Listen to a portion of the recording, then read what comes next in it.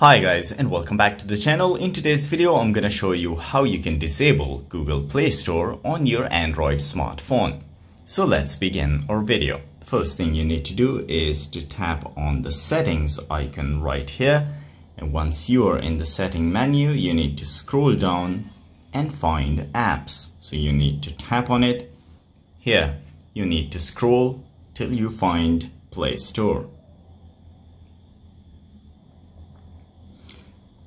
So guys, as you can see, I find Google Play Store right here. So I will tap on it and right at the bottom, you will find these three options where you will find disable option as well. So if you want to disable it, just tap on it.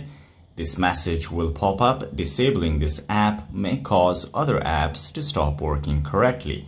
So if you still want to proceed, just tap on disable app and Google Play Store will be disabled on your device. So guys, if you like this video, don't forget to subscribe. I will see you in the next video. Till then, take care.